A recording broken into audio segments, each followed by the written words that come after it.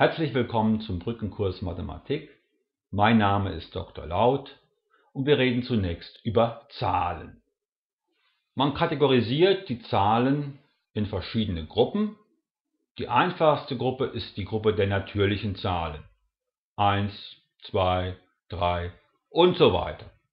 Man kann diese Gruppe sehr schön an einem Zahlenstrahl symbolisieren, zum Beispiel an einem Metermaßstab oder auch an einem Thermometer. Wir können die natürlichen Zahlen auch um die Null ergänzen und dann in die negative Richtung weiterzählen. Sie kennen das vom Thermometer. Und dann kommen wir zu den ganzen Zahlen. Wir sehen, dass zwischen den ganzen Zahlen noch eine ganze Menge Platz ist auf unserem Zahlenstrahl. Hier können wir zum Beispiel die rationalen Zahlen unterbringen, die Bruchzahlen. Quotienten aus ganzen Zahlen. 1,5, minus 1,5, 3 Viertel und so weiter. Dann gibt es auch noch Zahlen, die sich nicht als Bruchzahlen darstellen lassen, die aber auch auf unserem Zahlenstrahl irgendwo lokalisiert sind. Das sind irrationale Zahlen. Die berühmtesten davon sind Wurzel 2, die Eulersche Zahl e und die Kreiszahl Pi. Zusammen mit den rationalen Zahlen ergibt sich die große Gruppe der reellen Zahlen. Mit dieser Gruppe kommen wir auch für die Zwecke unseres Brückenkurses aus. Wir können die Zahlen durch Buchstaben auch symbolisieren. Wir haben eine Zahl a, eine Zahl b und wir können zum Beispiel mit diesen Zahlen Rechenoperationen durchführen. Addieren, subtrahieren, multiplizieren. Wenn wir zwei Zahlen a und b addieren, erhalten wir eine Summe a plus b und auch das können wir am Zahlenstrahl sehr schön symbolisieren. 3 plus 8 gibt 11. Wenn wir zwei Zahlen a und b multiplizieren, erhalten wir ein Produkt a mal b.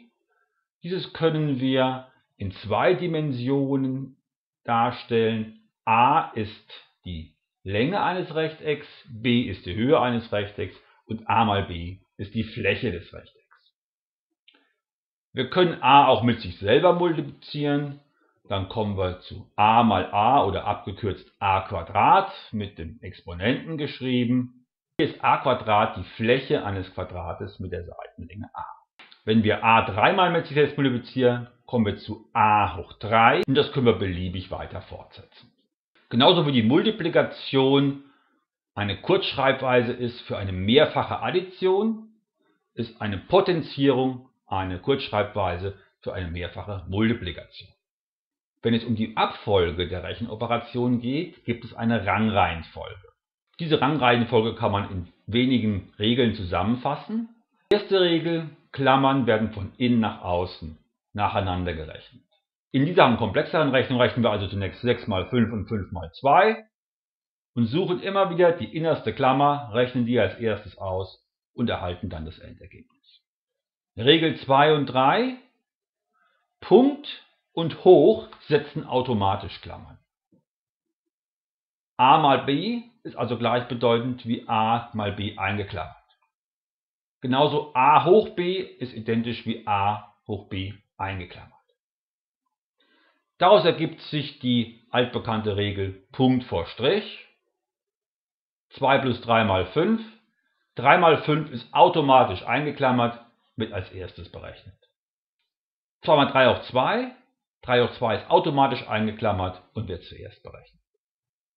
In dieser Aufgabe rechnen wir also zunächst die innerste Klammer 1 plus 9, jetzt 2 mal 10, jetzt 5 plus 20 und dann haben wir schon das Endergebnis.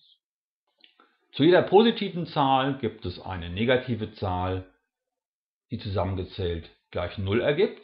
Wenn Sie von der Zahl a die Zahl x abziehen, ist das gleichbedeutend wie die Addition der Zahl minus x auf dem Zahlenstrahl bedeuten positive Zahlen Zahlen, die nach rechts gehen und negative Zahlen Zahlen, die nach links gehen. Wenn wir zum Beispiel 7 minus 15 am Zahlenstrahl rechnen sollen, geben wir 7 Einheiten nach rechts und dann 15 Einheiten nach links, erhalten das Ergebnis minus 8. Wir können uns die Zahl minus x als Produkt von minus 1 mal der Zahl x vorstellen. Bei der Multiplikation von negativen Zahlen gilt, Minus mal Minus gibt Plus, Minus mal Plus gibt Minus. Minus 1 mal minus 1 ist plus 1. Minus mal minus x ist plus x. Vorsicht, wenn Sie zwei Rechenoperationszeichen hintereinander sehen. a plus minus x bedeutet a minus x. a mal minus x bedeutet minus a mal x. Und a minus minus x bedeutet a plus x. In dieser Aufgabe werden zuerst die Klammern berechnet. 1 minus minus 3 Minus minus 3 bedeutet plus 3, das heißt wir haben 4 als Ende.